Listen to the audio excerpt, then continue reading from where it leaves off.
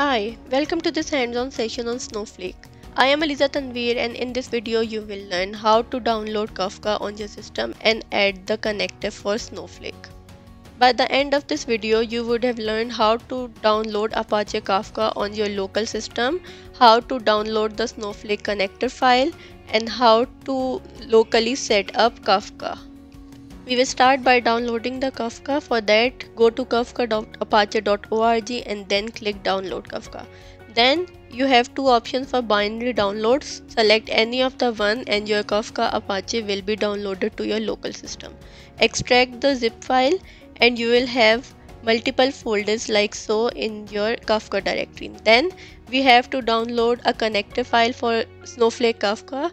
Go to the particular link and then click on the jar file to download the Snowflake Kafka connector 1.9.1 and after that once your uh, connector is downloaded you have to place it in your Kafka folders lib directory and then your Kafka will be ready to be set up. By the end of this lesson, you would have learned how to set up Kafka on your local machine, how to start the Zookeeper server, how to start the Kafka server, and how to create a topic. Moreover, you'll also learn how to produce and consume data from the topic. In order to set up Kafka locally, you will have to first start the Zookeeper and for that open cmd in your Kafka directory and write the following command to start the zookeeper server.bat file.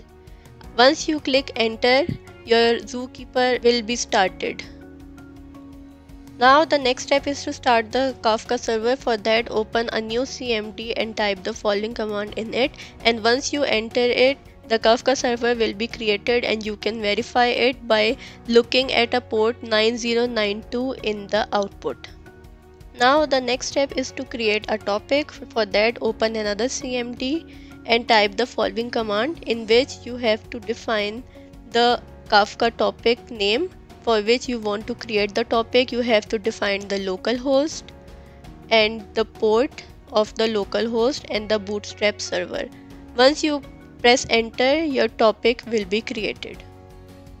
Now we will write the data into the topic and for that we will use console producer I'm going to copy the above statement and make certain changes to add console producer in it and remove the create flag and once I insert it it is going to prompt me to enter the data that I want to insert into the topic.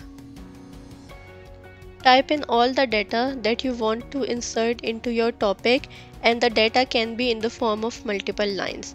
Once you are done with typing the data and you want to move out of it, simply press Ctrl and C. You will be prompted to enter Y or N. Press Y and you will move to the console. And then finally we will read the contents of the topic. For that I am going to again copy the above statement and now instead of console producer I am going to use console consumer object and here I will insert a flag of from beginning to read the data from the beginning all the data in the topic will be displayed. And this is all about setting up Snowflake with Kafka on local system. Thank you.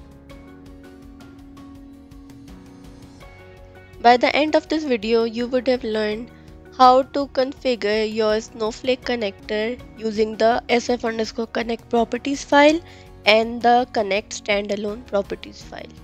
Let's start the configuration. I want you guys to go into your Kafka folder, go into the config folder and then create a new text file and give it the name sf underscore connect and extension should be properties.